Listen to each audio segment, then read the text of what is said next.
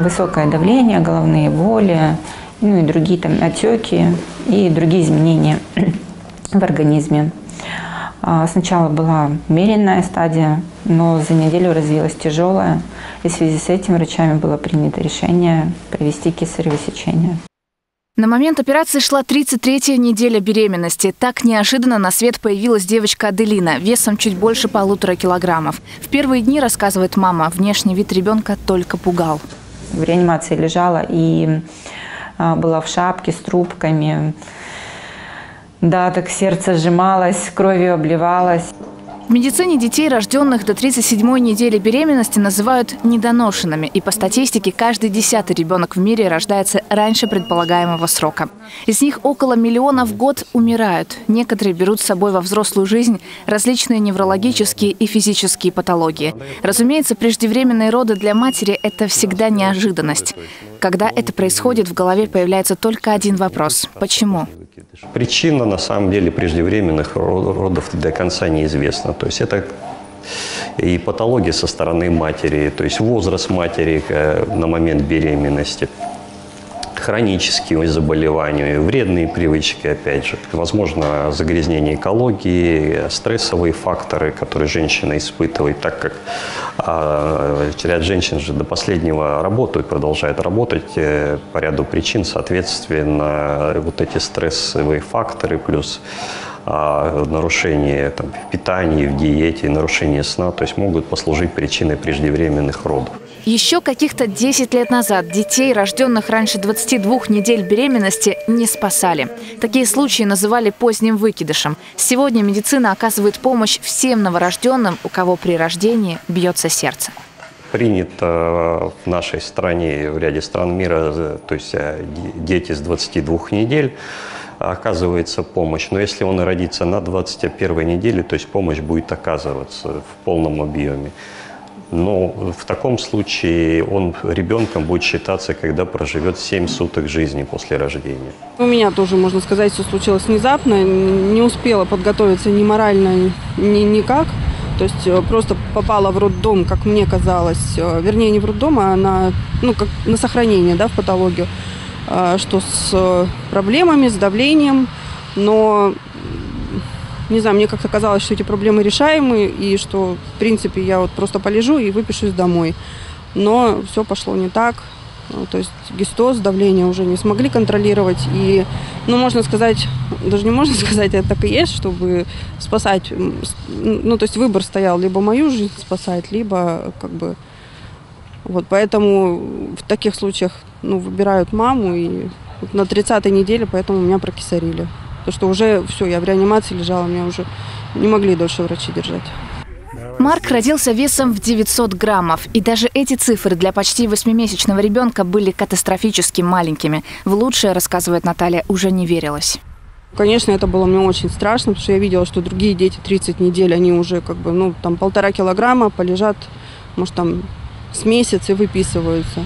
Поэтому у меня настрой был такой очень но на, на то, что будет все плохо, такой тяжелый.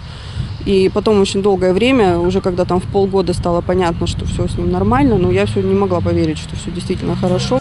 С первых дней жизни недоношенного ребенка выхаживают в кювезе. Здесь влажность, температура и темнота. Условия соответствуют утробе матери. А пока малыш набирает вес и крепнет, мама тоже нуждается в помощи, ведь впереди нелегкий уход и забота о ребенке.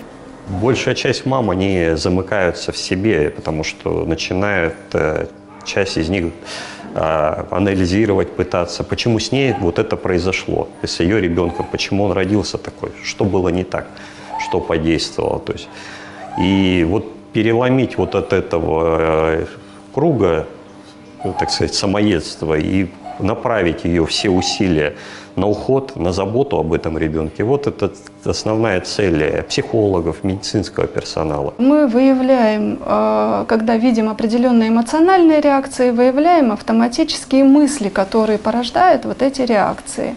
И, соответственно, идет работа с этими мыслями. Э, бывает так, что у мамы есть э, чувство вины, Бывает так, что у мамы есть тревога, страхи какие-то, а, но чем больше получает мама информации в течение вот жизни здесь, в перинатальном центре, тем она а, становится увереннее а, в успешном исходе своего ребенка, вот, э, выздоровлении своего ребеночка. О том, что было с малышом при рождении, сегодня помнит только мама. В свои шесть Марк, как и другие дети, подвижный, с удовольствием читает стихи и придумывает истории. Сегодня дети-торопышки, как уверяют врачи, догоняют в развитии своих ровесников, правда, только к трем годам. Если э, доношенный ребенок в году там, пытается делать попытки там, сидеть, ходить, то недоношенный родился в семимесячном возрасте, то он должен в год и три это начинать делать. Не надо его сравнивать их, потому что он родился раньше. И, и у него вот этот срок, который он должен находился быть в утробе, он происходит после рождения. И примерно их можно сравнивать, когда бы он должен был родиться в сроке 39-40 недель, как и любой доношенный ребенок. Пережив эту историю, Наталья Розенгрин стала помогать и другим мамам, у которых дети родились недоношенными. Она проводит бесплатные сеансы арт-терапии, учит вязать. Это занятие помогло и ей в свое время убежать от самых плохих мыслей. Чтобы вот это вот время не проходило, скажем так, медленно и тяжело, в общем, мы начали, ну, начали вязать. Начала сначала я вязать, потом я соседок по палате подтянула. Сегодня Наталья еще и равный консультант благотворительного фонда помощи недоношенным детям «Право на чудо». Мамы таких малышей могут получить бесплатную помощь от лучших специалистов в области выхаживания недоношенных детей, позвонив на горячую линию. Кроме того, на сайте фонда есть и онлайн-школа. Мама может зайти и э, в любое удобное для них время в интернете посмотреть ролик именно на эту тему. На тему по заболеваниям глаз, по заболеваниям центральной нервной системы, по неотложной помощи. Занятия по уходу за недоношенным в условиях, э, в домашних условиях есть на этом ресурсе. То есть там около 7-8 тем. Недоношенность не приговор, уверяют врачи. Больше 80% таких детей выживают. Бывают случаи, когда даже полукилограммовые малыши крепли на глазах, а сейчас в каждый свой день рождения с благодарностью приходят к тем, кто помог им в этой непростой борьбе за жизнь. Анара Шагирова, Вадим Быстревский. День с толком.